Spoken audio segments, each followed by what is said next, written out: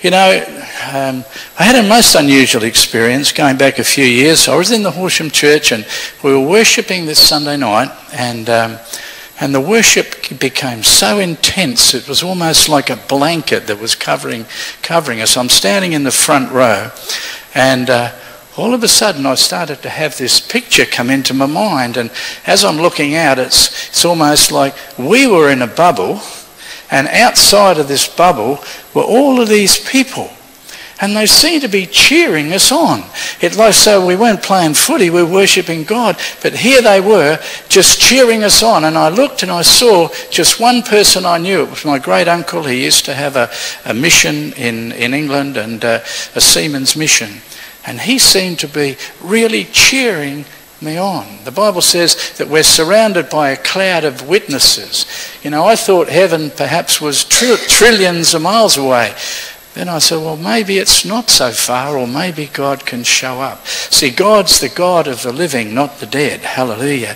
And when you go absent from the body, present with the Lord, okay, we have a hope. We don't have to be afraid of dying. And uh, in fact, the resurrection was the foundation stone of the Christian faith. Paul rested his case on the bodily resurrection of Jesus in 1 Corinthians 15, 14. And if Christ be not risen, he said, then is our preaching vain, and your faith is also vain. So if Jesus did rise again, it's the most sensational event in history. And it is, isn't it? The most sensational event in history. We know where we've come from. We know that God has a plan and a purpose for our life. And of course, we know where we're going. If Jesus didn't rise again, Christianity would just simply be a museum piece, no more. No objective validity or reality. Uh, just a wishful thought. Martyrs and missionaries who gave their lives were perhaps deluded poor fools. The enemies attacked the resurrection because it's the crux of the matter. Because he lives, we can face tomorrow. Because he lives, we have hope. Because he lives, we don't fear death. Because he lives, we know that God has got an unfolding plan, as we heard today, and we don't have to be fearful of what the future holds because we know who holds the future, and his name is Jesus. Let's say it. Jesus. Jesus. Let's say it again. Jesus. He holds my future. He holds your future. Hallelujah. You know, we think of, uh, you know, some of the things that reinforce uh, our faith in, the, in resurrection. Number one, it's the Christian church.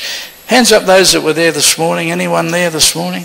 Unbelievable, eh? Sorry you missed it. It was wonderful. I, I was so blessed. I love evangelistic preaching. And man, oh man, that young woman can preach. And, and I was so, so blessed. What a glorious, glorious testimony to the resurrection of Jesus.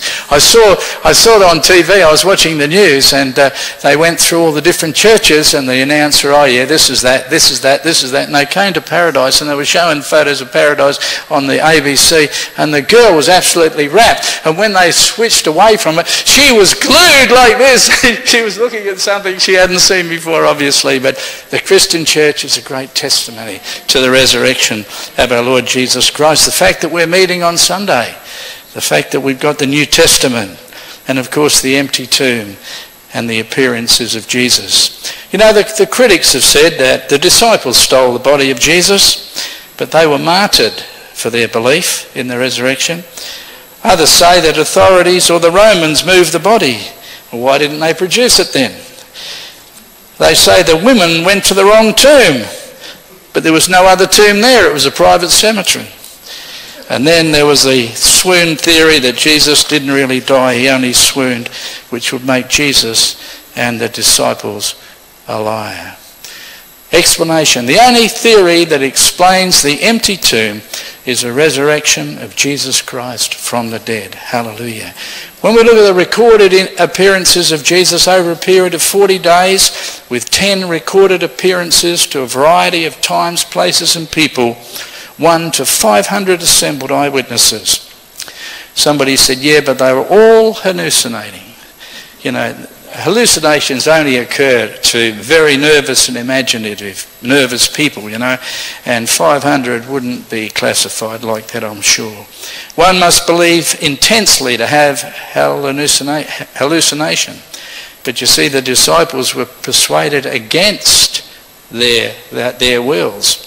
Then we look at the change in the disciples, how Peter denied Jesus three times, and then he went out front and centre and preached the message, and 3,000 people got saved on the day of Pentecost. What a tremendous difference he's made. Hallelujah. Only the reality of the bodily resurrection of Christ could have produced this change. A beautiful summary, Canon Westcott said this. Indeed, taking all the evidence together, it is not too much to say that there is no historic incident better or more variously supported than the resurrection of Christ. Isn't that beautiful? Hallelujah. The evidence for the resurrection up close and personal. If Jesus rose from the dead, he's alive today.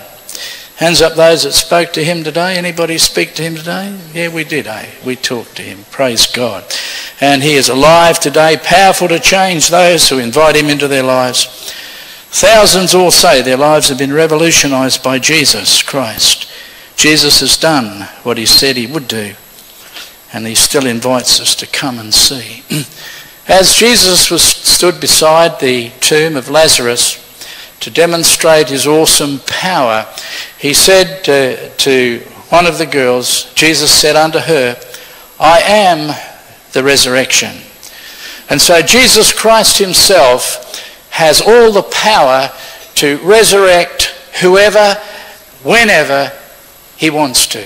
He is the resurrection power himself. And one day he's going to call and okay, the graves will be opened and things will change. Jesus Christ and him alone is the all authority and all power to be able to cause dead bodies to come back to life again. He said, I am the resurrection and the life. Not only is Jesus the resurrection, but he will also be the animating life principle that's in our resurrected bodies. He that believeth in me, though he were dead, yet shall he live. So all of us today that have lost loved ones, we have a firm confidence, okay, that we're going to see them again and that they will live. And whoever lives and believeth in me, Jesus said, shall never die. Do you believe this? So brothers and sisters, we don't have to worry about dying, okay? All we have to be concerned about is fulfilling the race that's been set before us. That's all we have to worry about because when our job is finished here, Jesus is going to take us home. The Bible says absent from the body and present with the Lord Jesus Christ. But it says in Romans 8:11, but if the spirit of him that raised up